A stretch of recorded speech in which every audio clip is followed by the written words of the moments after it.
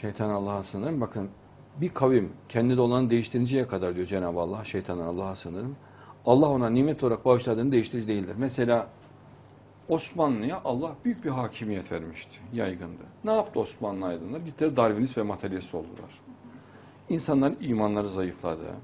İslam'a, e, Kur'an'a bağlılıklarında bir azalma oldu. Allah'a zikretmede gevşek davrandılar.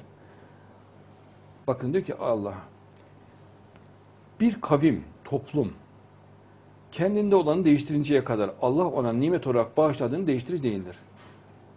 Onlar değişince Allah da Osmanlı'yı değiştirdi ve yıktı Osmanlı'yı Allah. Çünkü Darwinizm yayıldı Osmanlı'nın içerisinde. Materyalizm yayıldı. Hatta komünist düşünce yayıldı. Marx hayranlığı yayıldı. Allah Osmanlı'yı yıktı. Allah şüphesiz işitendir, bilendir. Ne yaptınız, ne ettiniz hepsi ben görüyorum diyor. Allah biliyorum diyor. İnşallah. İnşallah.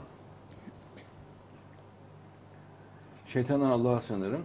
46. ayet Enfal suresi. Allah'a ve Resulüne itaat edin. Çekişip birbirinize düşmeyin. Ayrılmayın. Gruplara ayrılmayın. Cemaatlere ayrılmayın. Ayrı ayrı ülkelere ayrılmayın. Değil mi? Çözülüp yılgınlaşırsınız. Şimdi çözüldü mü Müslüman alemi? Çözüldü. Yılgınlaştı mı? Yılgınlaştı. Gücünüz gider diyor. Güçleri gitti mi? Gitti. Sabredin diyor. Şüphesiz Allah sabredenlerle beraberdir. Yani hakta ve doğrulukta, güzellikte ısrarlı ve kararlı olun diyor Allah. Allah ve Resulüne itaat edin ne demektir? Kur'an'a tam tabi olun. Kur'an'a ittiba edin. Peygamberin sünnetine ittiba edin. Çekişip birbirinize düşmeyin. Cemaatlere, gruplara ayrılmayın. Bütün Müslümanlar kardeştir diyor Allah değil mi? İnşallah. Birlik ve beraberliktir diyor. Bunu ayırmayın, bölmeyin. Parça ayırıcılar gibi olmayın diyor Allah. Kur'an ayeti var.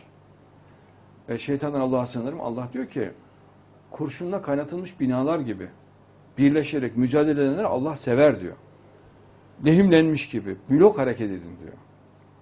Yani ayrı ayrı parçalanmış halde hareket etmeyin diyor. Tek bir millet gibi hareket edeceksiniz diyor Allah. Gibi değil, Müslümanlar zaten tek bir millettir. İnşallah. Allah kavimler olarak ayrı yaratmıştır. Ama biz İbrahim milletindeniz. Milleti İbrahim. Ben bu bunu söylediğimden dolayı eee 1986 yılında 25 yıl hapis cezasıyla yargılanmıştım. Sonra bu kanun değişti de şimdi rahat rahat söylüyor bakın.